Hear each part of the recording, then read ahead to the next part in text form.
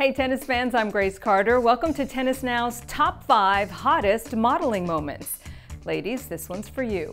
Ever notice the photo pit is often the most crowded spot on the ATP Tour? You know, swarms of photographers are aiming those long lenses at the stars, trying to catch magic in a frame.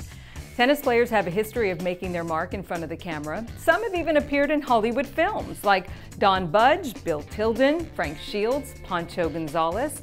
These days, some of tennis' hottest stars are impacting pop culture as spokesmen for fashion lines, sportswear, the big watchmakers. Think of Roger, Rafa, and Novak.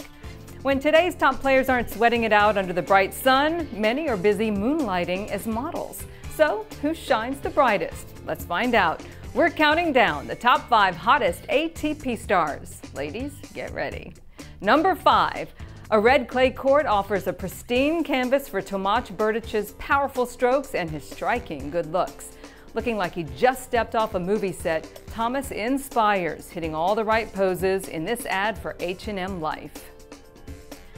Novak Djokovic knows how to bring both swagger and a sense of humor to the runway. Here, Nole is stealing the show, shedding his dinner jacket for the big reveal that would make Magic Mike proud. It's our number four moment.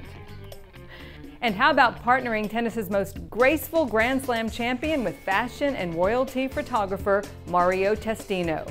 Visual magic. In our number three moment, Roger Federer is a work of art in this Credit Suisse campaign.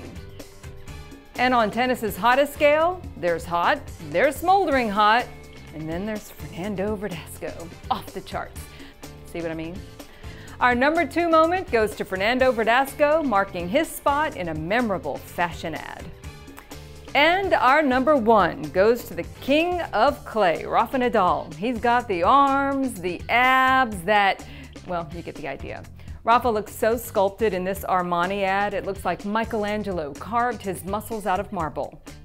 But Rafa, we know it's actually the result of a lot of hard work, and we appreciate it.